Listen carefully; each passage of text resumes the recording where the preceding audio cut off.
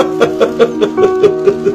you have any qualms whatsoever about returning in the Starliner yourself? Um, why or why not?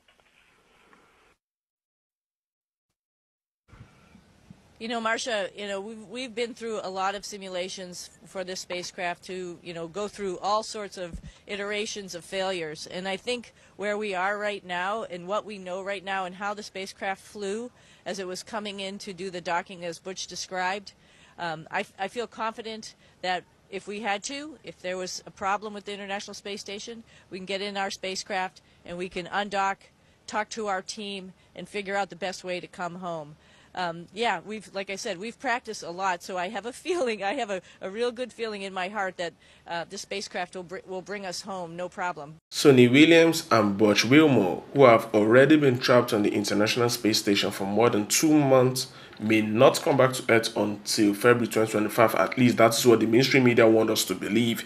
The US Space Agency reviewed a contingency plan that would launch a two person crew on SpaceX Crew 9 mission on September, but still wouldn't bring the crew home until months later. To me, I believe this is just an ad, to be honest.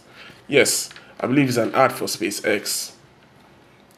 Just like Cybertruck, um, the celebrities were all using Cybertruck. To me, I believe it's just an ad so that people would know about SpaceX. They are trying to use this one to, you know, bring it to the limelight to people so that people who actually care about the story would know that oh SpaceX is what will bring them back home.